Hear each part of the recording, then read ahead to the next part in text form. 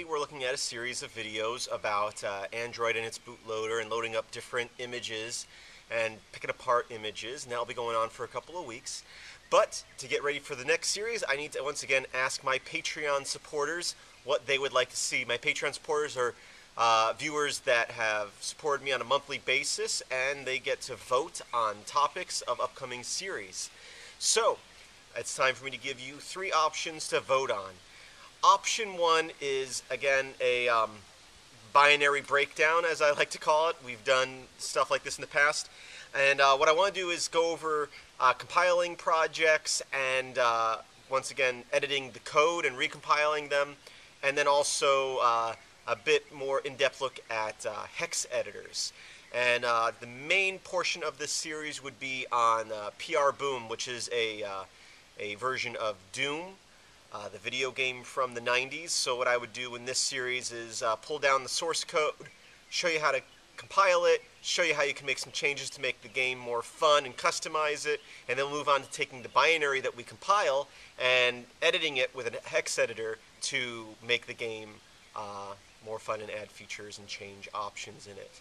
Obviously, you wouldn't need to do that with Doom since it's open source, but it will give you an idea of how you might go about changing things in a um, hex editor. So that's option one, binary breakdown.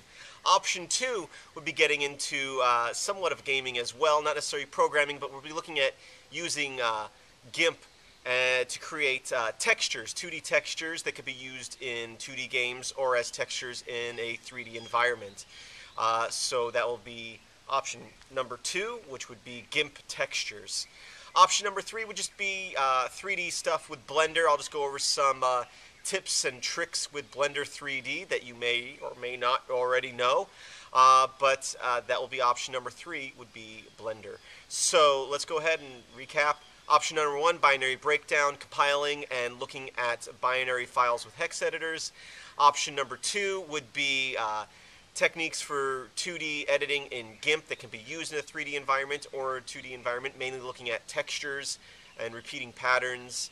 And option number three would be Blender and just tips and tricks with Blender. So go ahead, if you're a Patreon viewer, uh, you should have received a link to vote, and go ahead and do that. And um, if you're not a Patreon supporter and want to go ahead and think about becoming one, go ahead and check out patreon.com forward slash MetalX1000. There should be a link in the description.